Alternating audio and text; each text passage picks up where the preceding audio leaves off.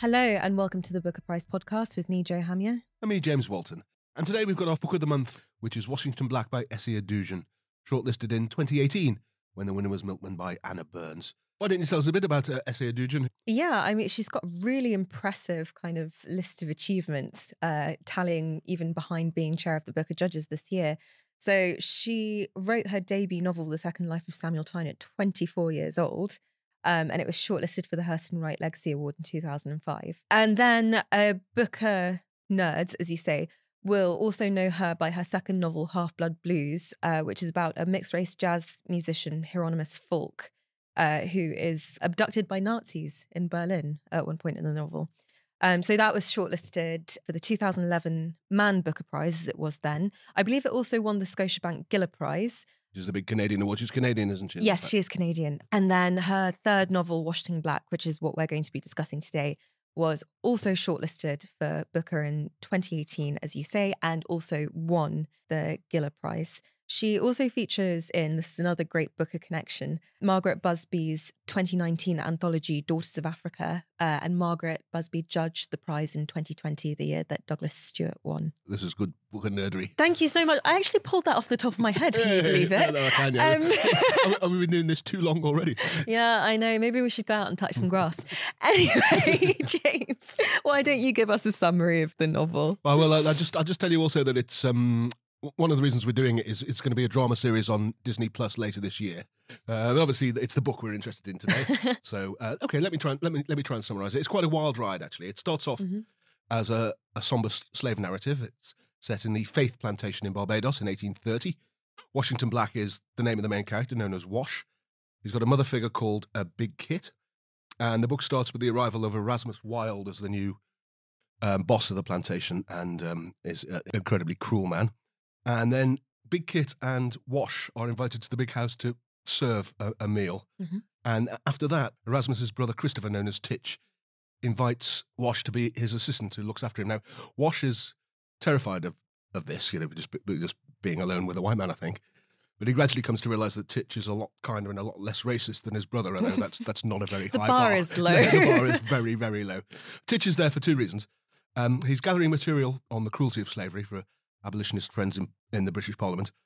But he's also a man of science, and in particular with an interest at this point in hot air ballooning. um, and he recruits Wash as his assistant, I think mainly because he's just the right weight for the ballast, in fact. Yes. Uh, but then discovers that he's amazingly talented at drawing and illustrating and, and pretty smart at, at science too. But then something happens, I think we can give it away really. The cousin of Erasmus and Titch who's visiting commits suicide in front of Wash. Yes, his uh, name is Philip. That's right, his name is Philip. And because he's alone with him, he knows, Wash knows that he'll be blamed for this and killed, probably not all that quickly. Um, at which point, Titch says, okay, in that case, we'll escape on the hot air balloon. So they get into the hot air balloon and escape. And at this point, the book becomes kind of wild adventure. Well, yeah, an adventure yarn, a kind of treasure islandy boys' adventure thing. The, the, the balloon crashes into a ship, mm-hmm. which is um, captained by a bloke who's got a twin brother who is the surgeon on the ship, but you can tell the difference because the surgeon's missing two fingers. Mm-hmm. Uh, they get dropped off in Virginia, where Titch sees a, a poster which announces uh, yeah. there's a bounty now of $1,000, obviously quite a lot in that time, for the recovery of Washington Black, dead or alive. And then there's another adventure aspect there, which is that the man sent to capture him is a guy called Willard, who's a classic sort of ruthless yes. adventure baddie. And then there's more adventure stuff because they escape from Virginia on a ship uh, manned by a captain who's got a treasure map he's been given by an old salt because uh, they're on the quest for some barrels of oil that have been left in the Arctic. And they pitch up in the Arctic partly because Titch's father is an Arctic explorer. What I mean by a bit wild, who has been rumored to be dead, but Titch isn't sure and has gone to find his father in the Arctic. And, and then Titch leaves, and then I don't want to give too much away, but Wash has lots of more adventures in lots more places with Willard hot on his trail. Also, a slight Dickensian feel to this, I think, the kind of orphan boy at the mercy of a cruel adult world. Uh, at one point, he even wanders about uh, graves at night in a pit from Great Expe- Expectations styly.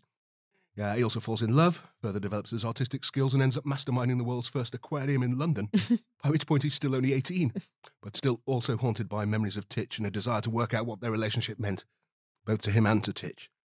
And with this comes another switch of tone, then, I think, uh, if you agree. Uh, becomes a, becomes a sort of exploration or meditation, even, on what freedom actually is, what uh, Esi Edugyan herself calls a journey of self discovery, And um, again, a sort of exploration of, of, the uneasy, at the very least, relationship between uh, black people and white sort of liberal people in the 19th century and possibly today as well. Mm. It also throws in um, lots of stuff that she's sort of interested in. Like she was interested in 19th century science of marine life in, I have in a theory aeronautics. About this, actually, Good. I'm looking forward to your theories. Yeah. I actually think it, it all makes sense. Like I thought about this so much last night, and weirdly enough, the book it reminded me most of, which we've covered on this podcast, was The Amber Spyglass. Because you have this like child protagonist who's growing up and, you know, finds himself in the Arctic one day and in the jungle the next sort of tethered between life and death, never sure when death is going to come for him. Um, you know, with a baddie hot on his trail. Yeah, and, and not the sort of book you imagine that you're going to be in for when it starts, as I say, with this with the cruelties of slavery in 1830 Barbados, or towards the end when it becomes this rather somber meditation on on on the nature of freedom and so on. I suppose the question I think I asked you about William Boyd as well. Do, you think it hangs together? And if so, does it matter? Yeah, I, I actually really think it does hang together. And I don't actually, having thought about it for a while now, I don't think it becomes a meditation on freedom. I think it is from the start. It's just that the it becomes a lot more explicit towards the end because by the end, you know, having learnt to read and write and having acquired both legal and I guess a personal idea of independence and liberty, uh, Wash is able to express his thoughts. You know, he actually has. I know this is going to be something we're going to talk about later, but just purely in terms of his education and training and the ability he has to voice certain thoughts, it's only explicit at the end because by that point he's finally attained the ability and I guess also the courage to confront these questions out loud. Yeah, I think I think that's true, but it, it not that he necessarily is able to answer them. I think Esi Edugyan uh, described the book as a, uh, uh, described Wash as a boy of sensitivity and intelligence. He is seeking his foothold in a world where there can be no real belonging for him. But do you not think that um, not not to spoil too many things, but there's a mixed race girl he falls in love with towards the middle, and this is you know a large part of his life as a marine biologist and a inventor of the aquarium and a genius illustrator. yes, um, but there's that question that um, this mixed race girl Tanna keeps asking him, you know, as he's searching for Titch after Titch has gone missing, you know, when when will you be satisfied? You know, if I show you your the records of your birth, if we find out that Titch can't be found in uh, Liverpool, he can't be found in in Virginia. He, we've been all over the world looking for him, and you're never satisfied. And to me, it feels like you know, once he finally does find Titch, he kind of realizes that. Uh, this might sound corny, Tanna was his home all along and he can stop running. Ooh, that's interesting. The Titch what uh, Wash relationship is absolutely kind of central to the book. I'm, I'm worthy of a bit more study. But just, yes. just before we move on to that, just Wash on his own. I mean, is he too good to be true? This 18 year old sort of prodigy. And also, he's also incredibly virtuous. He, he does say things like, you know, I had long seen science as the great equalizer, no matter one's race or sex or faith. But that's not true either, because basically what we've got is like a a boy who is getting like two kinds of education. It's, you know, he says um, when Titch kind of takes him on as an assistant, part protege, part manservant, that it's actually one of the cruelest things he's experienced because he gets this very cosseted view of the world. And then he has to go work, you know, in the kitchens and the docklands with people spitting on him, hitting him, you know, swearing at him. By this point in the book, he's disfigured by a uh, by an explosion caused by accidentally caused by Titch.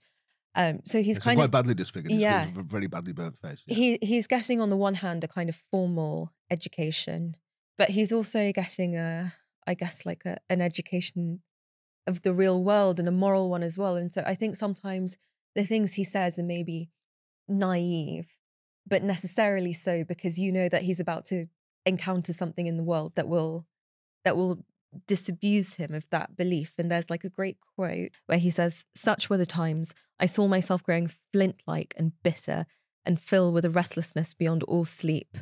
Out walking one afternoon, I picked up a discarded piece of tin in the street and peering at my reflection there, I saw in my eyes a lightlessness, a methodical will for violence. I knew I must move on or kill or be killed.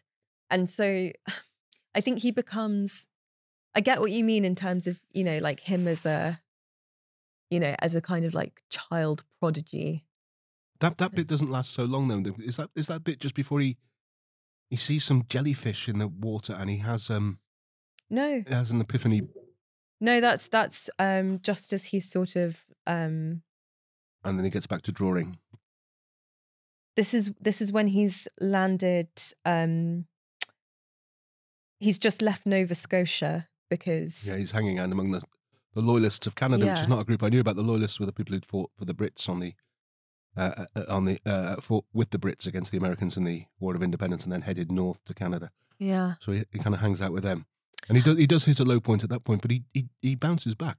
I mean, somewhat, but I think like there is still like he he's much more prone to sort of irritability. But this is like one of the markers of like discovering one's own freedom bit by bit. You you do get irritable with people. You're allowed to. You won't be hit for it. You won't be punished for it in the way that Erasmus might have punished him for talking back. But like I take your point with is he too good to be true in the sense of, you know, you've got this like incredibly uh articulate, brilliant novel told by a boy who is ostensibly illiterate until the age of eleven.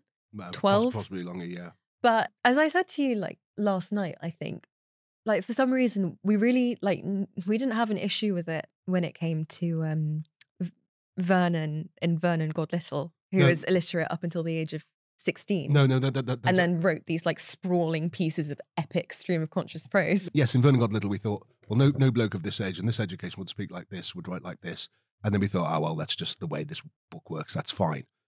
And and for some reason, I'm more reluctant to do that. But I, but I think the reason more reluctant to in this case is because it's a very different kind of book. Vernon God Little was quite cartoony and quite broad brush, and this I think is a is a much more careful portrait of an actual boy uh, growing up and being 18 and, and but then he, he will say things in his prose like um, he lay sidelong on the blanket like a roman senator or um, there was a kind of unhappy mirth to his features like someone greeting a long unseen aunt at a funeral. I mean how uh, how could he have seen these things? Is the author essentially just speaking slightly on his behalf sort of throughout the book a bit I don't to, no to be honest with you, I didn't really take issue with that so much as and it's to a much lesser extent. I wouldn't compare these novels. I think Washington Black is way more accomplished and sensitive and like fun to read and brilliant.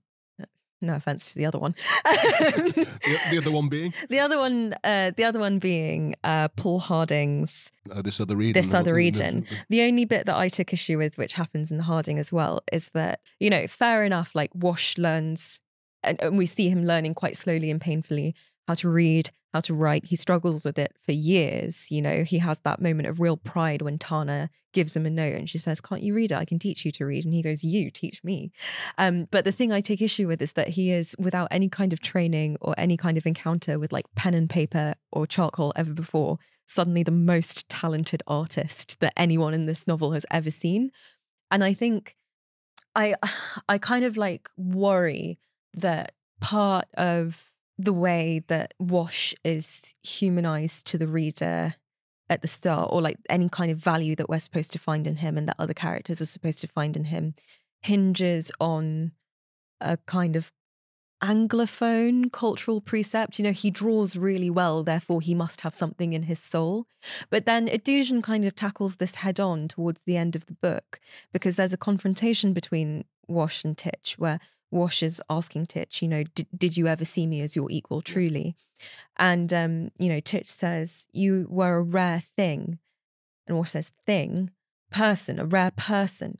Not so rare that I could not be abandoned not be replaced. I felt a pain high up in my throat, and when I spoke, there was a pressure in my voice I could not control. And so you took in a young black boy and you educated him as if he were an English boy. For his benefit, though, or so that you might write about it. And I that I think his, his kind of being like a uh, an artistic prodigy is is an example of the book maybe slightly falling into that trap. and even the the level of his perceptiveness there Oh no, I think he's earned it by that Oh, point. Okay. Well, let- well, let's let's move on to what, what he's perceiving there, because I think that's all right with you. Which is which is quite, uh, pretty much at the heart of the book is the relationship between Wash and Titch, not just not Yeah. just that, and and the question of the white savior business. Yeah. Now, uh, I believe that when she first wrote the book, she sent it round to friends and and uh, early readers, and they said, "Look, this is this is a bit white ta- savior, you know." and I think, I think in the final book, you can see her sort of wrestling with that question. I think not always satisfactory. I don't, I don't know where you stand on this. I mean, because it's basically it's stuck with the fact that in some way Titch did save him most literally from death and gave him a new life.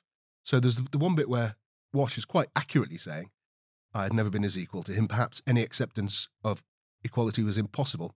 He saw only those who were there to be saved and those who did the saving. But I mean, this is controversial stuff, Joe. I know don't get us cancelled. But in mm. but the whole first... get you cancelled. okay, yeah, yeah, yeah. That's right. You get find some other co-host. Um, but, um, but in that time and place, is Titch wrong to think that? And there's two words: the white savior. There's white, and there's also savior. So the, the whole of the first, the whole of the first section is showing just how powerless um, and how th- they are completely deprived of agency, the enslaved people in, in the plantation, of course. Mm-hmm. And then Titch comes along and admittedly only one guy, but it takes him away in a hot air balloon to a new life uh, from almost certain death. Mm-hmm. And I, th- I think that, that uh, what I can't quite tell is whether the author is acknowledging the sort of ambiguity of the white savior stuff or basically tangling herself a bit in knots. I definitely think it's an interesting question. I think there's an argument to be made that uh, in Wash's experience, kindness is relative to a really horrifying existence. So the fact that Titch allows him to eat at the same table, wash, sleep on a mattress with bedding, and um, and you know look at some books. You know, if you if you said that just out of context, that would not be a sort of, you know, anyone would go, of course, well, this is basic human decency, isn't it? And I think the fact is that uh, Titch Titch is an incredibly selfish character for for all of this novel. I mean, uh, I think his kindness is relative to Erasmus, his brother's cruelty. But then equally, when it's kinder he, than that, but I'll, I'll, I'll, but I'll, certainly take some qualifications. Sure, he's uh, he's much he's much kinder than Erasmus, but then you know I think he is no, basically just just kinder than Erasmus. He's he's decent, but next to Erasmus, he looks like a saint, doesn't he?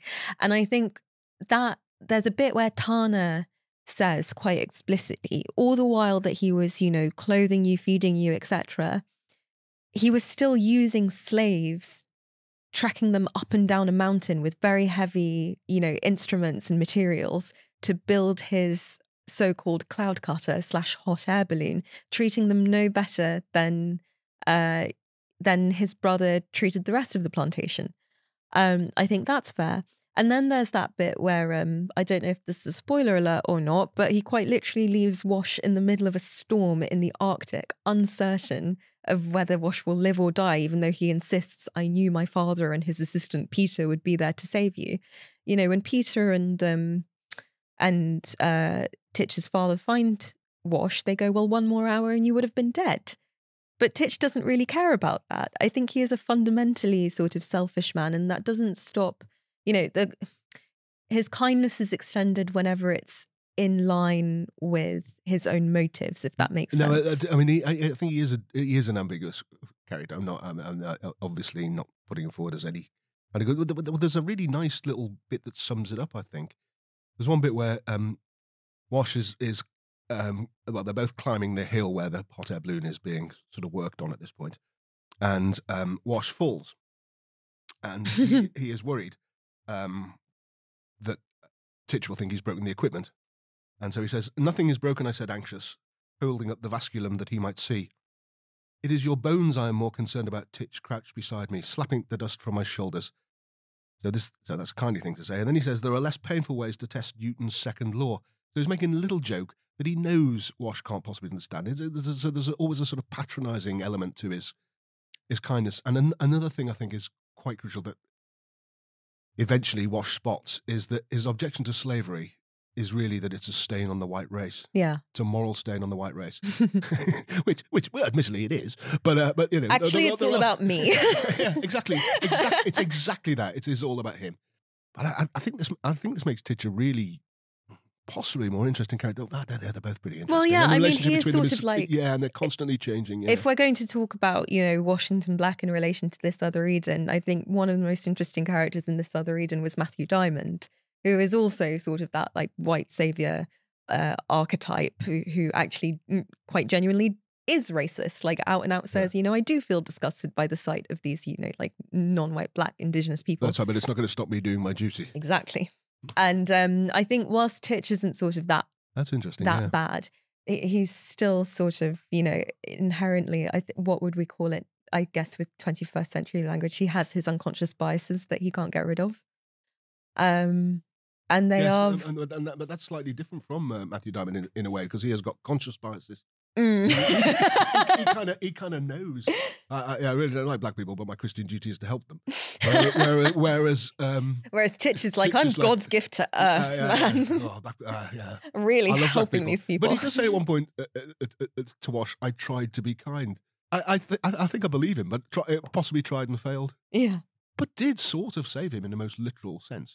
Well, but this is another, I mean, this is like a huge point of the book is how free are any of these characters? I mean, most particularly characters like Wash or Big Kit, his kind of mother figure, or um or Emily, um, you know, essentially um those who who work on the plantation, but also to some extent, you know, the the brothers in the story or or John Willard, the uh, the assassin, how free are any of them? But how free are in a way any of us right at the start? Um, uh, Washington says to Big Kit, his mother figure, um, "What is it like, Kit? Free." Uh, I felt a shift in the dirt, and then she was gathering me in a close, gathering me in close, a hot breath in my ear. Oh, child, it is nothing. It is like nothing in this world. When you are free, you can do anything. You can go wherever it is you're wanting. You wake up any time you're wanting. When you're free, she whispered, someone asks you a question you ain't got to answer. You ain't got to finish no job you don't want to finish. You just leave it. Now, I think that's not definition of freedom so much as being like really, really rich and possibly, and possibly childless. Because, because uh, on the whole, none of us. I mean, none, I certainly, you know, can't do any of those things. Mm. I can. yeah, yeah, you, you twenty freelance twenty somethings, but uh, but I, you know, I can't, I can't, um, you know, finish a job I don't want to finish. I can't go wherever I want. I can't wake up anytime I want. Uh, you know, um, well, no, actually, I'm, oh, be, I'm, I'm not trying to be glib. I'm, but... I'm, not, not suggesting that I'm, I am in the situation of, if I can I make this perfectly clear. no, James, you have not worked on a plantation. 18, 30, yeah, my life's just as bad. No, what I mean, no, obviously not that. It is the point that um, uh, that we are, that, that, that definition of freedom, I think, is it's a very a bit, idealistic one, yeah. A bit silly. Yeah. Well, no, I don't think necessarily silly. Um, but I take your point um, in the sense that there's this very interesting and tense scene where Erasmus and Titch hear from their cousin Philip that their father is dead. And and Philip says, Well, you know, Erasmus, your mum wants you back in London to uh, wrap up affairs at home and uh, deal with the household for a bit. And uh, Titch, you're going to have to take over the plantation for two or three years while he's off doing that. And um, Erasmus can't wait to get back to London. Titch has no desire at all to be a slave driver. And there's this kind of standoff where Erasmus can't go to London unless Titch agrees to take over the plantation. Meanwhile, Titch doesn't want to take over the plantation, but can't, in all good conscience, say no to his mother, who's newly widowed. And there's this kind of standoff of desires and they're definitely not legal unfreedoms but you know as you say like who who is truly free of any kind of responsibility or uh not going to use the word master here because it's in bad taste but you know whether you're beholden to your family or to the money that you need to make your life work etc but that being said i think what wash achieves i think he does achieve an agency of spirit and mind certainly yeah, but I think by the end, he's he's ready to. I mean, talk about this whole white savior narrative. By the end, I think he's very ready to cast Titch off. You know, once they have their final conversation. Yeah. I, and, yeah, yeah. And, and, that winning of uh, and that winning of as far as he gets. I mean, I don't think the idea is that he's meant to end up. He's cracked it.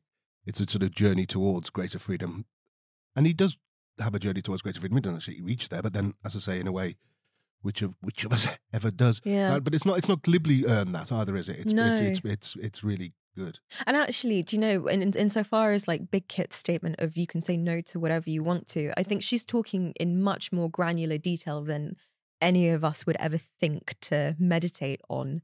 As in, you know, if I want to sleep in an extra five minutes, I can, or she can't. If I, you know, want to take shade from the b- sun that's burning my neck while I work for half an hour, I can. She can't, you know. Yeah. Okay.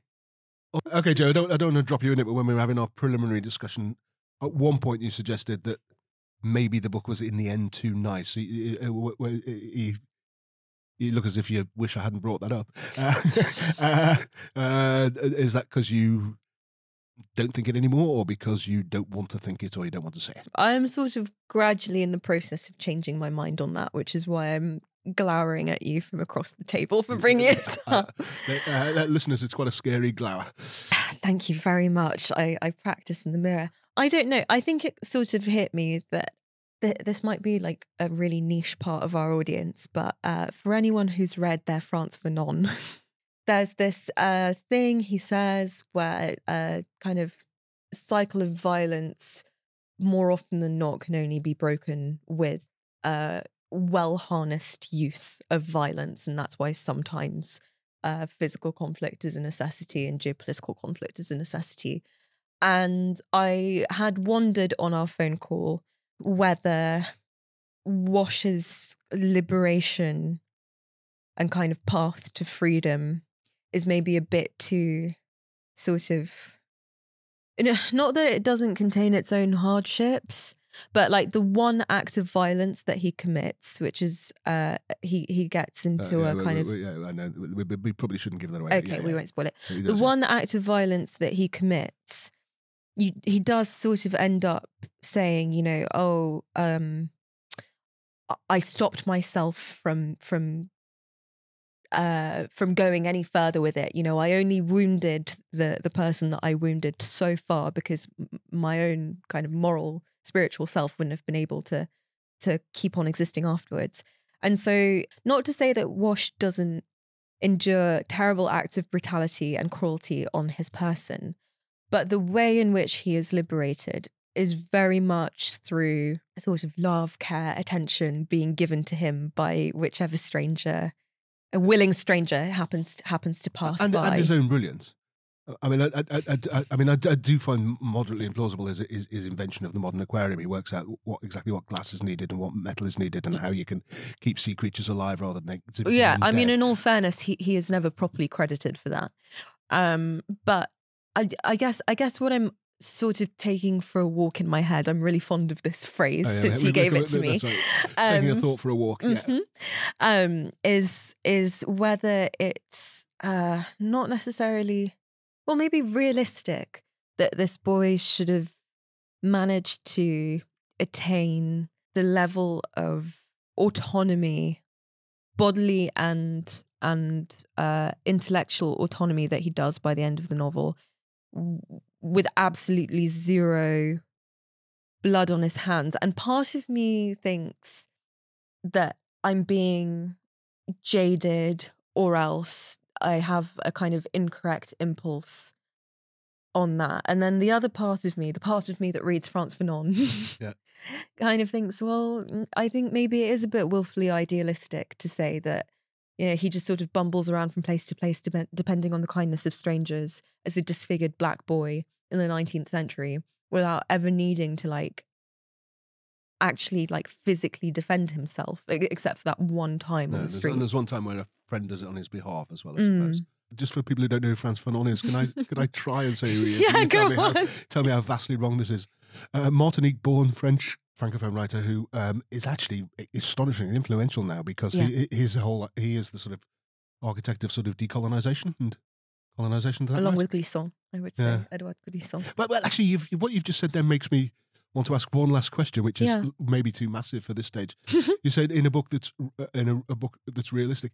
Is it in the end? Is this a, a- book that's meant to be a, a work of realism or of slight sort of mythology? I Yeah. could never quite work that out. See, this is, I'm thinking this too because my earlier comparison to the Amber Spyglass suggests that it's like utterly fantastical. But it is, But I know that. but it is um, partly fantastical, isn't it?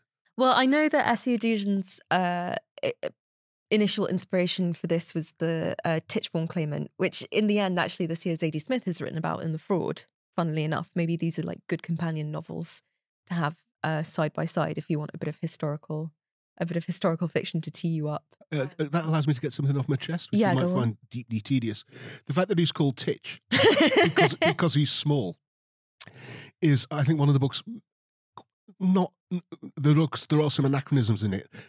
Titch, meaning small, came from Little Titch, who was a music hall performer in the 1880s, and he was called Little Titch because he looked like the Tichborne claimant. So that, that's where, where it's from.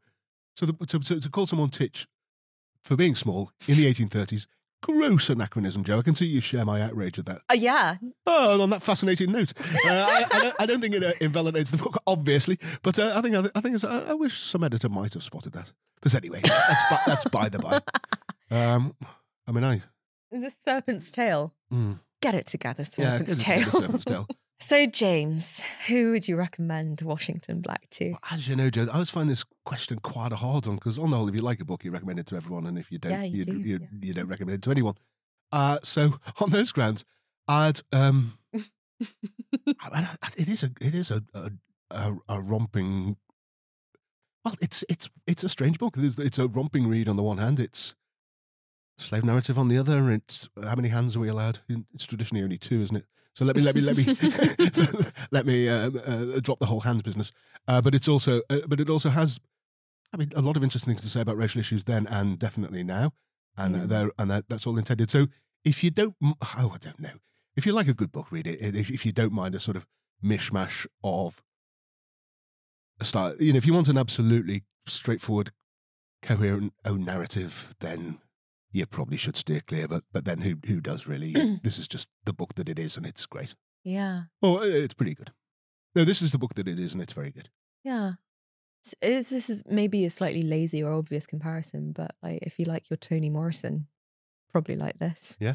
Um, actually, I think people who enjoyed um George Saunders's Lincoln in the Bardo might enjoy this because it is that kind of take. You know, you take something slightly based in fact and you make it a bit weird. You know, Saunders has his ghosts and Edugyan has her cloud cutters and Arctic explorers. Uh, okay, let me try and take. Let me be a bit less uh, negative about the whole. Rec- who would you recommend it to? And say that, um, oddly enough, if you enjoyed Any Human Heart by William uh, Boyd, which is uh, basically the author throwing in lots of things they're interested in. I uh, uh, still think that that like the marine biology makes sense because he's looking at animals and like he's caging or like trapping these these octopi, octopi, octopedes, who knows, octopodes. What's the plural?